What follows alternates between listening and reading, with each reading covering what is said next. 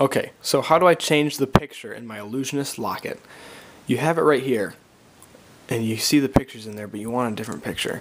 So what you first want to do is you want to change it to the heart position, open it up, and you'll see right here. If I want to change this picture particularly, I take this part and you just you push it away.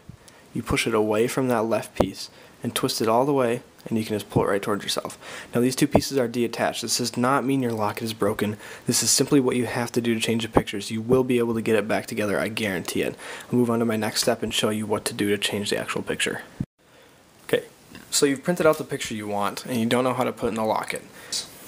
Take your tape that was supplied and what I would do is I'd rip off like a little end that's big enough for the square so you can save your tape for later.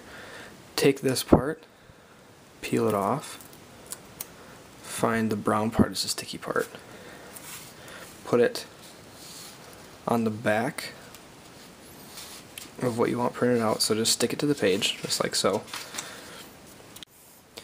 Okay, now that you've gotten the tape, on the back of what you want printed out, you take the punch and align it so the small end is on what you'd like to punch out and the big end is behind. So I'm going to line it up. L is right in the middle of there. And then you just push really hard and punch it right out. Now that you have your picture or letter punched out in my case, you're going to look at the back and find this brown part. And go to the edge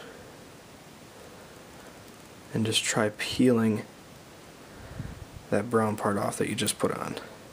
So now I got my picture off and it's now sticky. Sorry, you can just flatten it out so it's not as weird as before. So now it's perfect. And now, look at the locket. Focus please. Camera. There we go. So here's the picture I had. I want to just take that right off. Just comes right off. And then right here I take this L that I just printed off and I put that right where the other picture was. Push it down. So right now that L is in the half of the locket. I take my other half, don't worry it's still not broken. And see how you normally want it to be like that?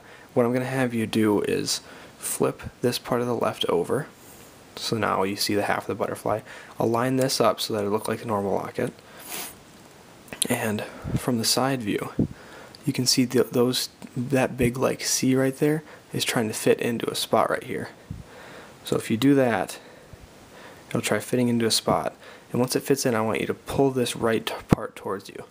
So like, line it up so it fits in a little notch and start pulling this towards you and the magnets will actually just pull it right back into where it's supposed to be. And then right now I have that L as my picture now. There's one picture. Flip it. And there's my brand new picture of an L. And there you are. That is how you change the picture in your illusionist lock